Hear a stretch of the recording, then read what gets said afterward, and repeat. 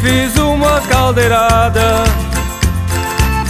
Não fiquei desiludido quando ficou acabada.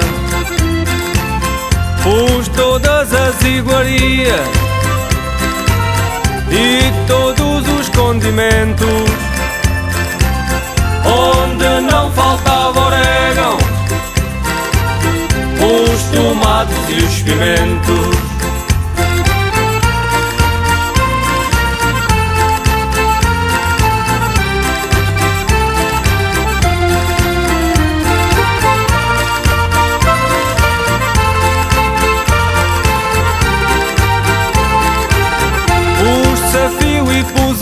A raia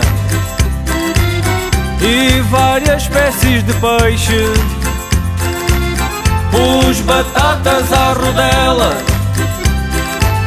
O salgado e o azeite.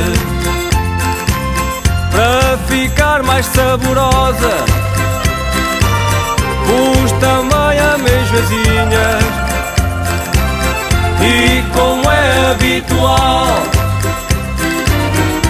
Pus também duas sardinhas.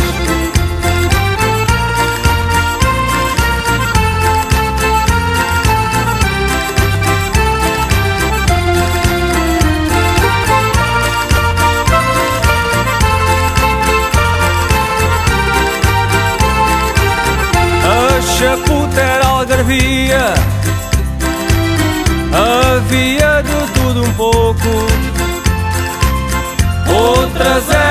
Setúbal Que até falavam charroco